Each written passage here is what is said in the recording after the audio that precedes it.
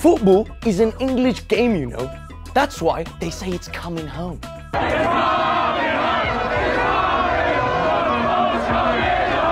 Historically, it has spread with a cross and a bullet around all of the so-called British Empire.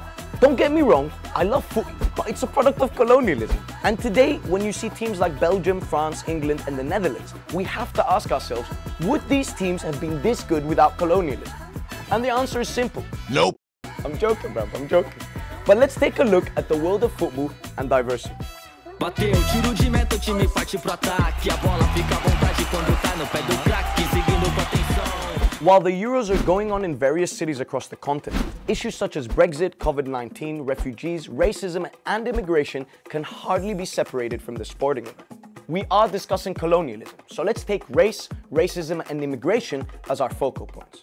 Despite right-wing politicians such as Brit Nigel Farage, Dutchman Geert Wilders, or France's Marine Le Pen propelling hate across the lands, European football teams are becoming more diverse as they reflect the diversity of their nations.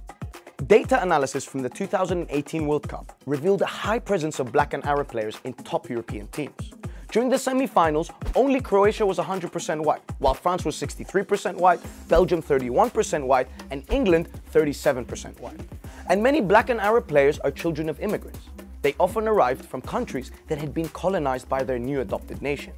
Now this information is from the semi-finals, so diversifying is clearly working out. But non-white players inevitably become the center of discussions on identity, nationalism, and race. And in recent years, many players from migrant backgrounds voiced concern over how they are perceived in the world of football. After a win, diversity and multiculturalism tend to be celebrated, and you hear slogans like, we're stronger together. But after a loss, players of color are often scapegoated for their difference.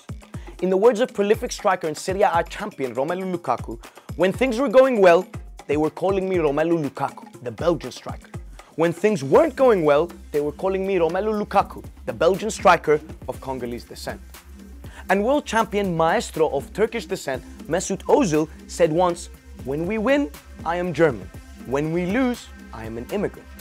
And three-time European Champions League winner, mon frère Karim Benzema also echoed that sentiment when he said, When I score, I'm French. And when I don't, I'm Arab. It's alright bro, wallahi for me you're always gonna be an Arab. And I say that in the best way possible. Now how did we get here? Through colonialism, migration and inequality. For example, the plethora of players of African descent have landed on European national teams as a result of the vast exodus of sporting talent from Africa to Europe. European clubs and nations use their powerful economic position to dictate the terms on which they conduct the trade in football labor with African nations. As many African clubs and nations suffer financially due to centuries of colonialism, exploitation of their natural resources, and corruption, so players are brought into Europe under what's known as dependent trading. African football bodies are encouraged to sell off their top assets. This in turn facilitates the de-skilling and underdevelopment of African football. Meanwhile, European clubs and national teams keep getting better and better. Some see this process as a form of post-colonial exploitation. Former president of the Confederation of African Football, Mr. Tessema, once remarked, when the rich countries take away from us, also by naturalization, our best elements, we should not expect any chivalrous behavior on their part to help African football.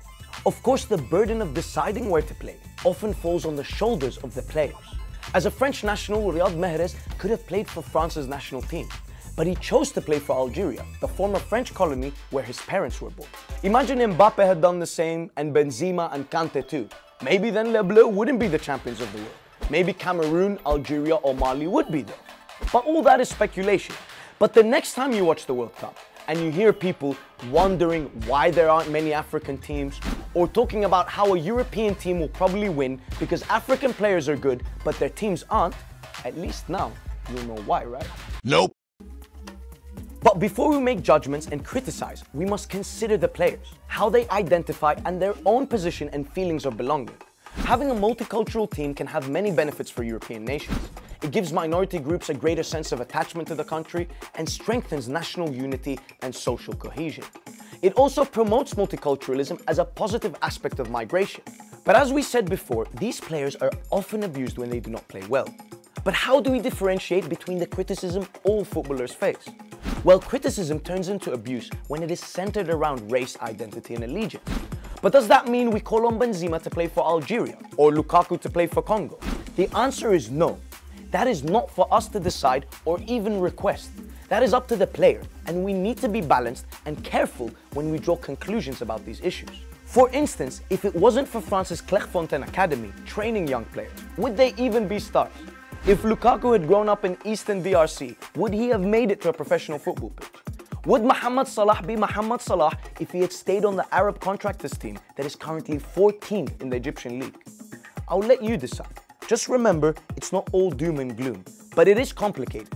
And if someone like Mbappe, who was born in France, speaks French and feels French, then he should be able to decide if he wants to play for France. Also, I've developed a new celebration to end episodes.